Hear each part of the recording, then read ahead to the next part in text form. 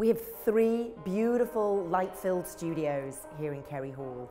We have live accompanists for all of our technique classes, playing either percussion or piano.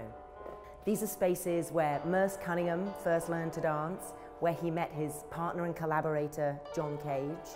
Martha Graham taught here in our summer program. Robert Joffrey was also a student here.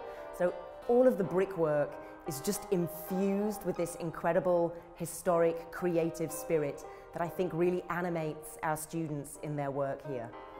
Our technique training here draws on both the ballet vocabulary and on a range of contemporary techniques.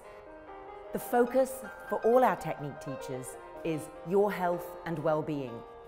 We put an emphasis on somatic practice, functional anatomy, and really try and ensure that you all have the skills that you need to train in a way that's best for your body so that you can have a long and vibrant career as a dancer without injury.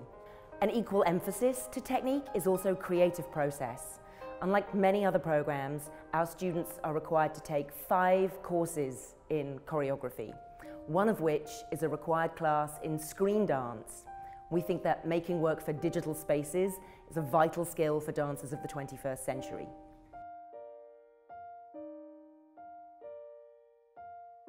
Dancers at Cornish have five opportunities to participate in department-sponsored concerts.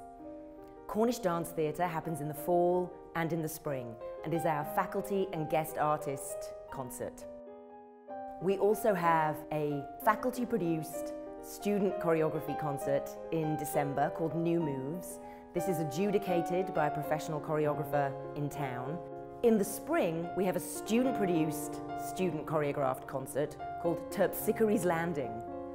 One of the things that's so fantastic about Terpsichore's Landing is that a student team takes full control of every aspect of the production, from adjudicating the works to stage managing, producing, lighting, doing the marketing.